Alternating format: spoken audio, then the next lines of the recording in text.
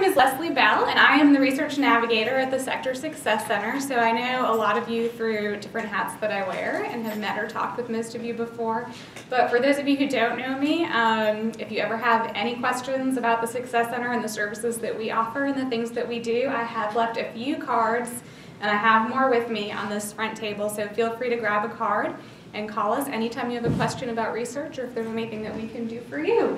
But today, I am really excited that we get to kind of walk you through this new institutional policy we've developed on getting um, EMR access for our research monitors or our sponsor auditors when they come to campus.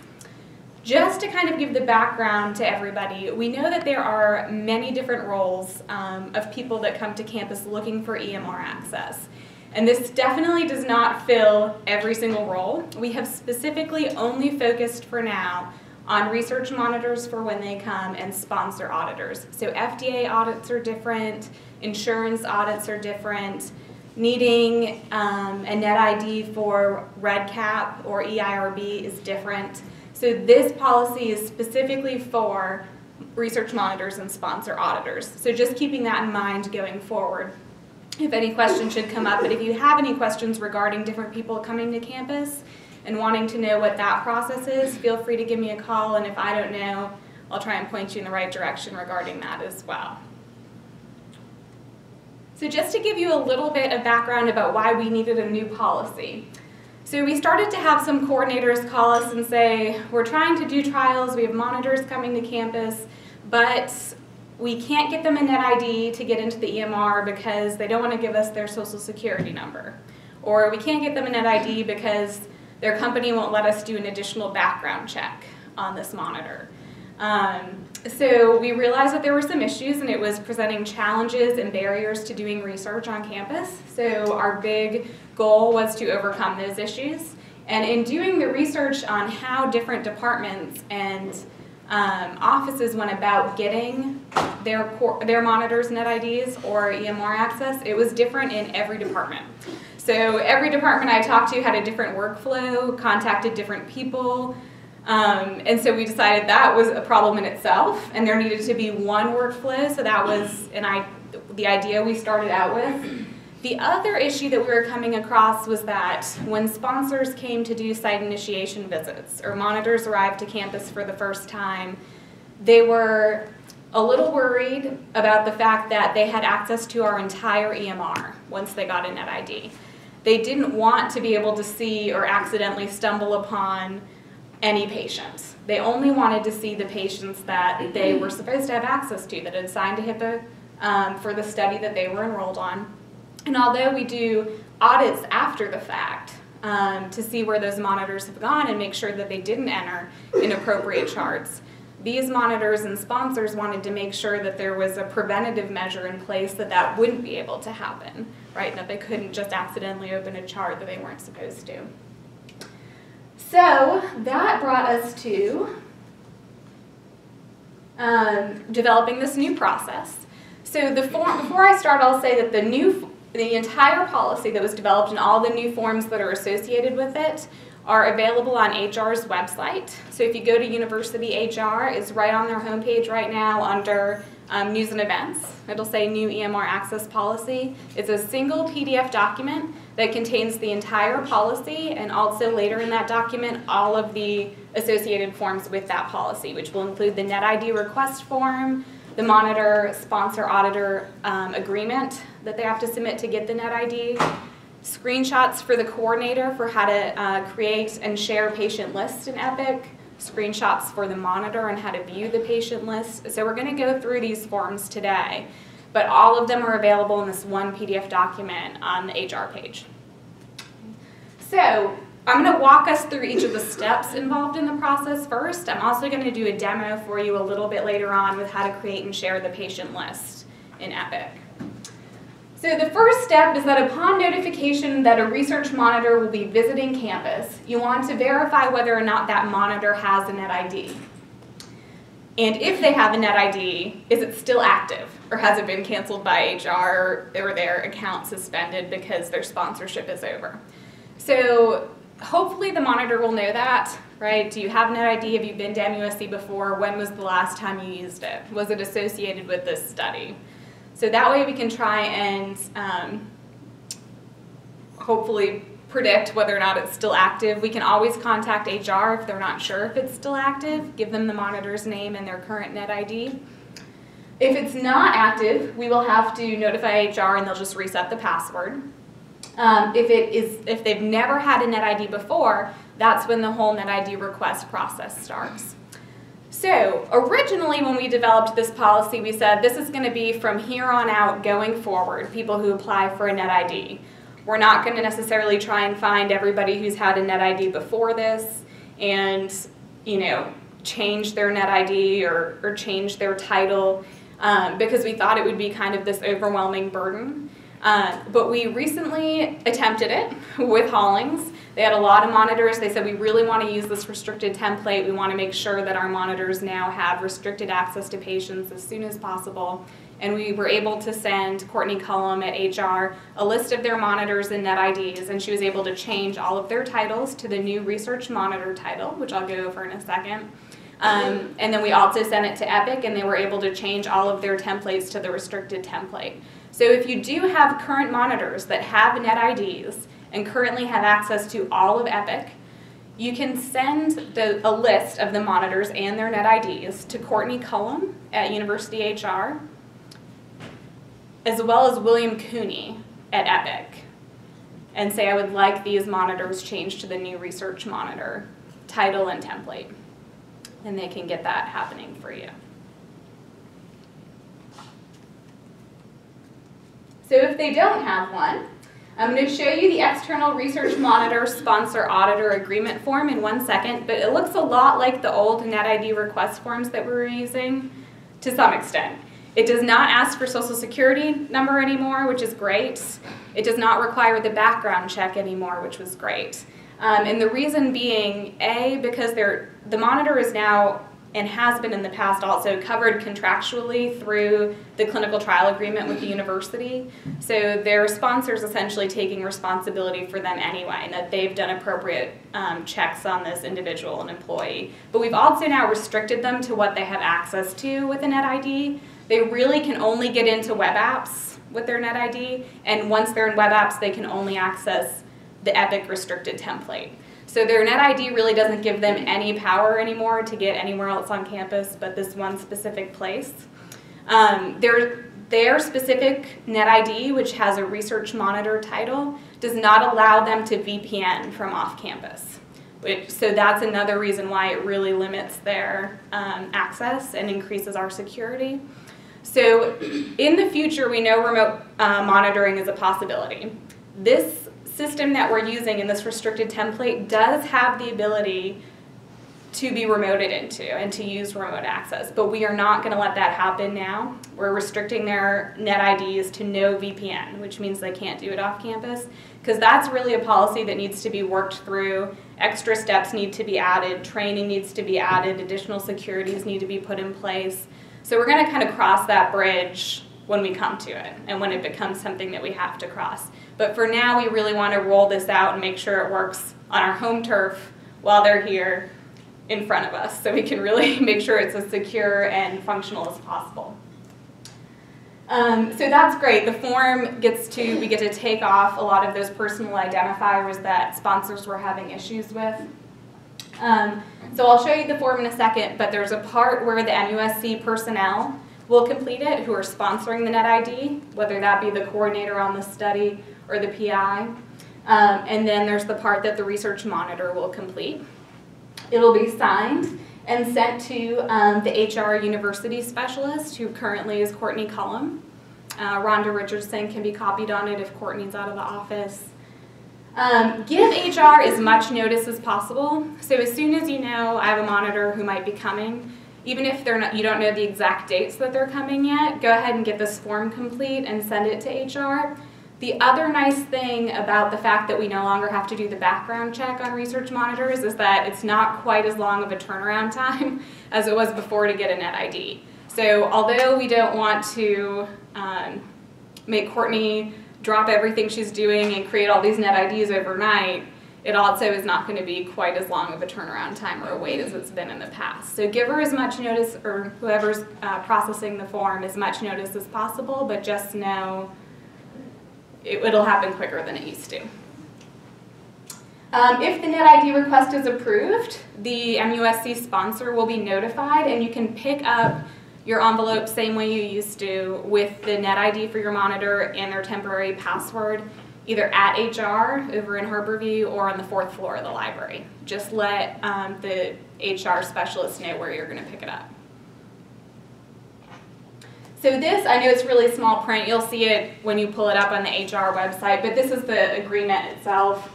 A lot of the um, the statements in here are statements that um, are kind of pulled out from different policies on campus that only have these very specific components that apply to monitors.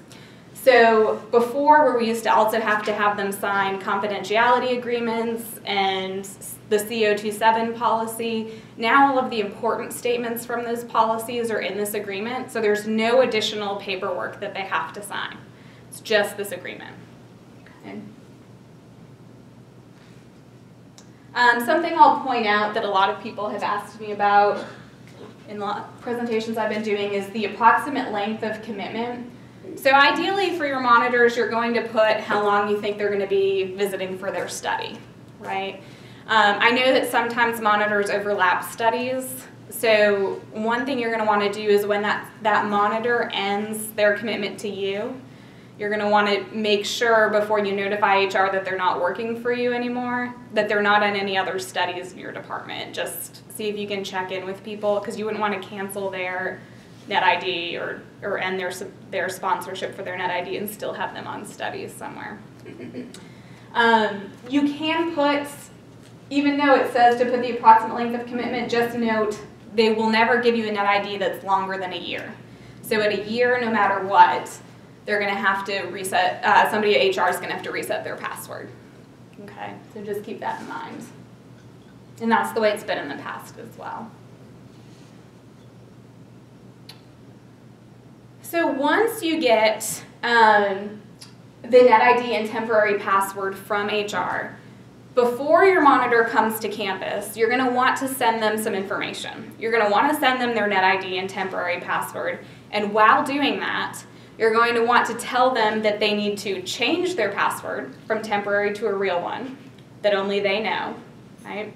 And you're also going to want to tell them they have to set up their EPIC account before coming to campus. So, in order to do that, this document is also in um, that HR packet.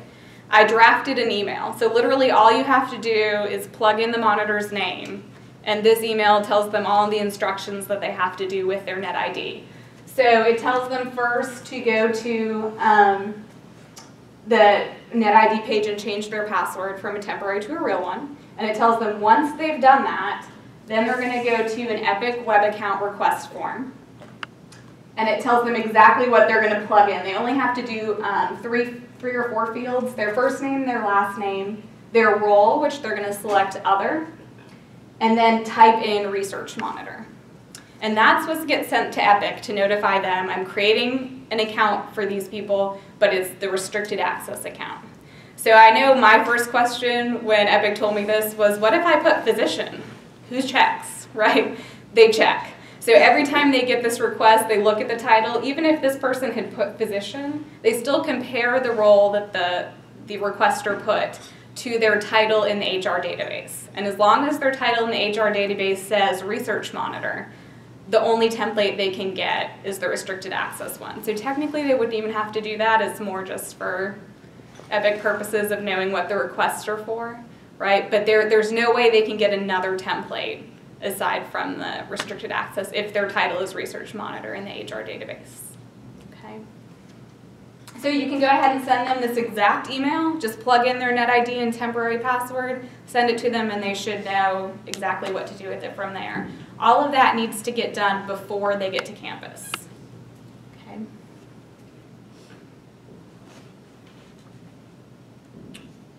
Um, so I mentioned already that the monitor no longer needs to sign the CO27 or the confidentiality agreement. Um, their request has been changed, and I don't know if you mentioned this already. The wording in the agreement covers the language that was originally in those other documents.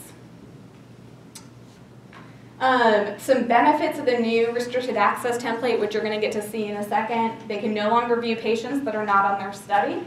And they have no capabilities to add or edit anything in Epic. Not only do they have no capabilities to do that, which hopefully was happening before, because they hopefully had view-only rights, um, they won't even see any buttons that look like they could do something. So before, even if you have view only, it looks like you could add your own notes maybe, or there are buttons you could press that might do something, even though we all know, hopefully, that it didn't save, right? There's none of those buttons show up anymore. So literally, it doesn't even look like they could do something if they wanted to, okay?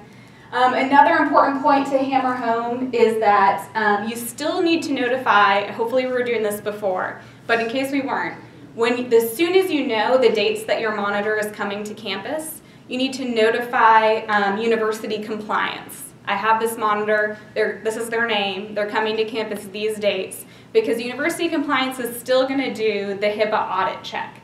So once your monitor comes, accesses the EPIC record, and leaves, compliance is still gonna send the coordinator um, a statement to sign off and attest to that the monitor has not been anywhere that they're not supposed to be, that those are the charts they access, they had right to access those charts, they didn't go anywhere they shouldn't be, okay?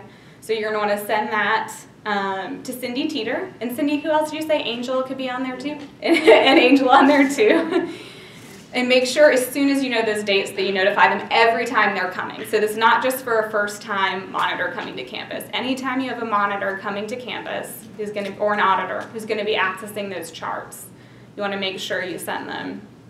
Um, so if you're a big department and they, you have people who come a lot and you have a lot of monitors, right, like Hollings, they do an Excel spreadsheet that they send every week, I think with the list of their monitors um, that are coming and the dates that they're coming so that they know to prepare for that. Okay, anything you guys want to add to that? No, I really appreciate your um, help in making us uh, compliant with the HIPAA regulations which state that we must audit who is accessing our medical records. And I don't see that, that requirement changing anytime soon. So if you have not been contacting our department, uh, please get to know Angel or Tversky and make her your best friend. And uh, the audits that we're doing uh, do not take a long time for you on your end to verify. And if you all, I'll have time for questions at the end, but if there's anything you want to ask as we go that you don't want to wait until the end to ask, go for it. I'm more than happy to answer it.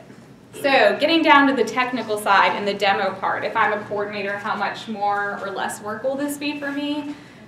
Hopefully less in the long run, but it's really easy once you um, learn how to do it, and learning how to do it takes approximately five minutes, so hopefully you'll get it as soon as you leave here. But if you have any questions throughout the process, feel free to give me a call.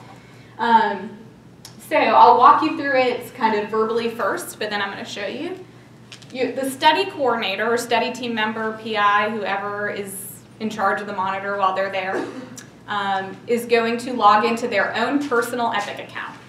Okay, not a NetID, not the NetID that they saw from HR for their monitor, their own personal Epic account, and create a list of patients um, that the monitor is going to want to see while they're there, and then share that list specifically, or importantly, view only access to that list, which really will be your only option. You could try and click one of the other types of options, but it's not going to let you for the monitor net ID.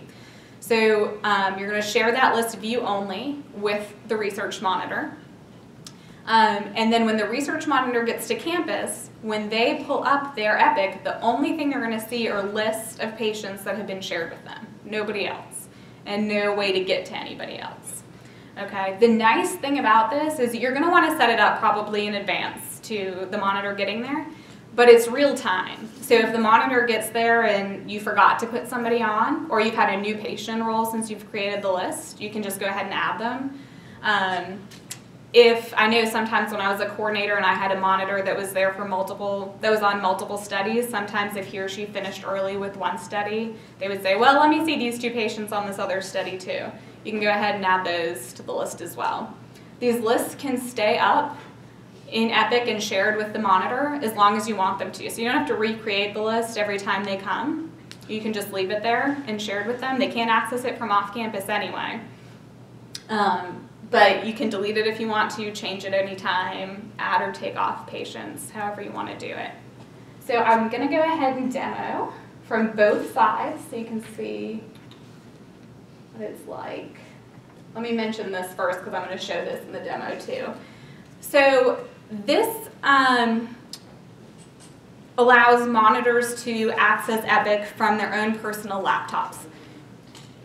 Um, they can sign on to a land computer as well with their own NetID and password and be restricted to certain places, but most of them are going to bring their own laptops. They do, if you have a um, wire internet in, in like a workstation, they can hook up with that. If not, they do have to access MUSC Secure, okay, which they can do, with their, that wireless network, which they can do with their NetID and password. It'll let them do it. The one issue, kind of technological issue we've run into so far with this, only I think with one or two coordinator or monitors who have come since we've implemented, is their security on their laptop has to be, their certificates have to be up to date. It seems like when a monitor is on a laptop with a security certificate expired, it's not letting them log on to MUSC Secure, and so we've had to find them landlines to connect to. So that is on their IT department. There's nothing really we can do um, to fix that.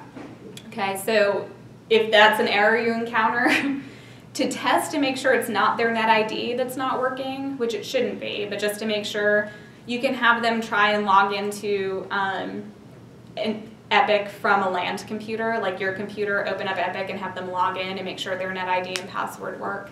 But it typically it's that their security certificates need to be updated and only their IT department can do that. They can talk to our IT department and try and find out what certificates have to be updated, but. Okay, so I'm gonna go ahead and do the demo or the study team. Whoever's doing it on the study team, and I'm gonna log into, hopefully I'll have Epic on my computer, but since I don't right here, I'm gonna log into Epic through web apps with my NetID and password.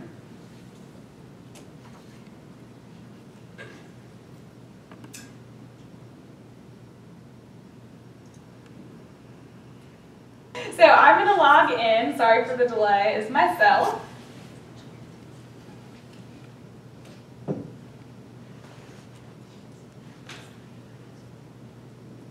And I have my normal act, uh, Epic Access rights, so I see everything as it is.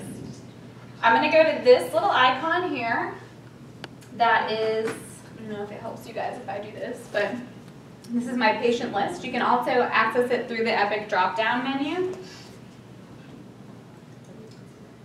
um, right here at patient list. So from there, I just click edit list and create my list. And I'm gonna name it. So you can name it anything you want. Um, like I know for Hollings, it's probably a CTO number. For a, um, you can do a study number. You can do anything that the monitor is gonna know what study that list is associated with, just in case they're on multiple studies with multiple coordinators who are creating different lists for them. So I'll just name this one um, test one. And then you're going to want to um, click on what is displayed in the list. So when the monitor opens up Epic, they're going to have access to only those patients, but they're going to have access to that patient's entire chart, which they should, right? They need to make sure that if there's a shadow chart involved or um, just for data entry purposes, that you haven't neglected to put something in that might be an important adverse event. So they should have access to their entire chart. Um, but originally, when they first open the chart, they're going to see the list of patients and what you want them to see in that list before they click on it and open the entire chart. You can pick you're kind of restricted um, to what they will actually be able to see. So there are some columns on here and some layouts that they wouldn't be able to see even if you clicked it just because of the type of access that they have. They'll be able to see it once they enter the chart, but they just won't be able to see it in list form, and it's probably just more annoying for you anyway. So patient name um, is probably one of them you're going to want. So you would just click on that and click add. So if you want to just not scroll through everything, you just click on available columns and start typing. MRN might be another one you want to add. So let's say those are the only two. Um, once you've done that, you're going to want to click over to the Advanced tab, and this is the important part. This is where you enter the net ID of the monitor that you're sharing the list with. And for access level, you want to do view only. So there's my monitor's net ID. I'm giving them view only access. I've included what columns I want to appear on the list when they first log in, and I hit accept. So now the list is created, and I want to add patients to it. So I click add patients, and you just search by name or MRN as you would any patient uh, that you're looking for in Epic. So I'm going to add some test patients on here just so you'll be able to see it.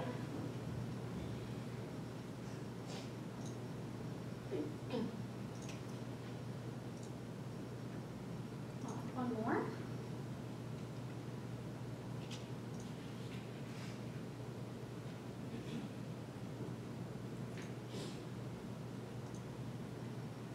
And that is all I have to do. My list is created, my list is shared. I can add patients at any time, delete patients at any time. Um, so I'm going to log out of my account because my job is done. And typically, I would, in past demos, I log all the way out even of web apps and log in as the monitor, but I'm not going to do that because I don't want to lose Epic now that it's pulled up.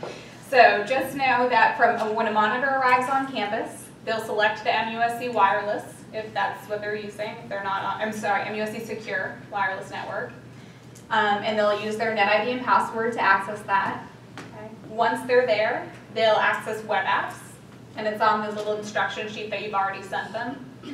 From web apps, just like I did, they log on with their NetID and password. The difference for my web apps versus the monitors is the only icons that are in their web apps with that NetID access is an Epic icon, and I think maybe a CATS folder icon that they would really have access to anything in it. On the monitor and I log on,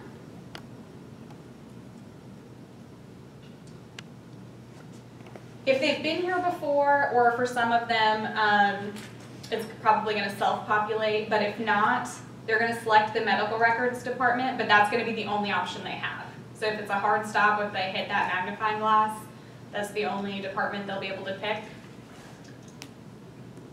They click OK. There's the list. This is all that they see when they first log in. So there's the list I created and shared with them. There's no way for them to get anywhere. There's no actions under here. Um, the only thing under their Epic button is their logout, their exit, and to personalize their screen if they want to. Um, there's no other buttons. Their, don't, their recent searches aren't going to have anything under there.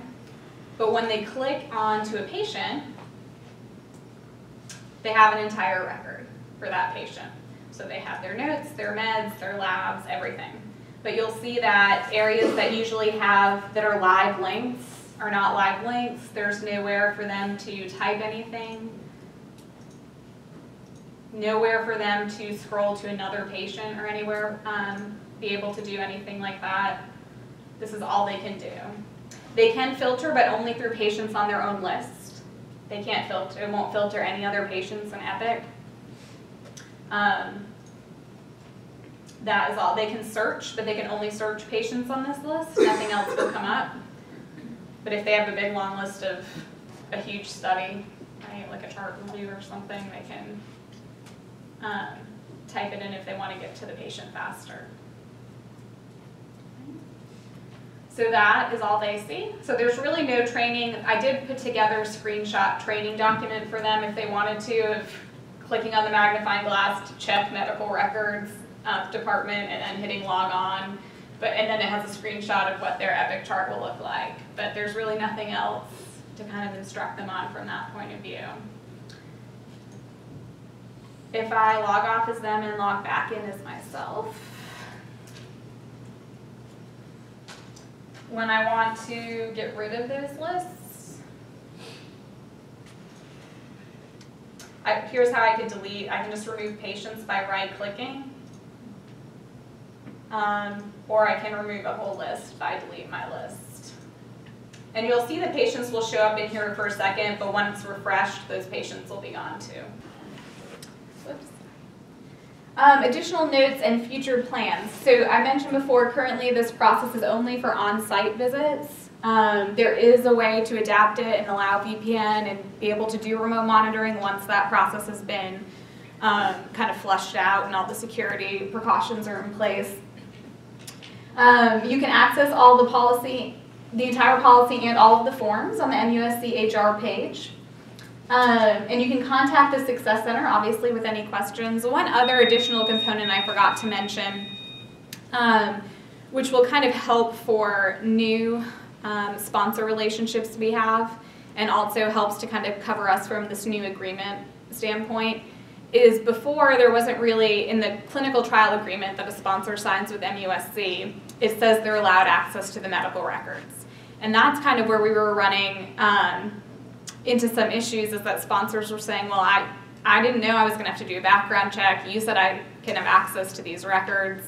You need to give them to me. And we were kind of feeling, you know, some pressure from that and having to do all the shadow charts or do an over-the-shoulder type of thing. Um, now, all of the new contracts have language in them. Um, Darren and um, Cindy in ORSP have included language in the new contracts that say, there is the potential for you to have access to medical records. Here's our policy. Here's the steps you're going to go through to get access to those records so that they know in advance up front it's really transparent what that's going to involve. And so that they're going to be able to read and review that before they sign their clinical trial agreement. So any questions, concerns, comments? We are meeting as the group who put this together. As I mentioned, it's under Dr. Flume and Dr. Crossan and Dr. Warren um, and Mitch Plyler played a huge part in developing, they really did it all on their own, developing the restricted access template. But the meetings to put together the policy were compliance and ORSP and legal and HR and identity management and everybody from everywhere to kind of make sure this came together in a way that satisfied everybody's requirements and regulations and make sure everything was considered. We're hoping to get that group together um, again once this has been rolled out for a little bit and go over some of the feedback we've been getting um, from monitors and coordinators already. So any feedback you have when you go to implement this, um, any problems you run into, please send them to me. Call, you can call me so I can try and resolve them um, while your monitor's there, but also please send them to me over email and descriptions of anything um, that you want kind of thought through and reviewed when we get back together as a group and make sure that everything's going well and in place the way it should be. If there's no questions or concerns, I am all done. Thank you all for coming.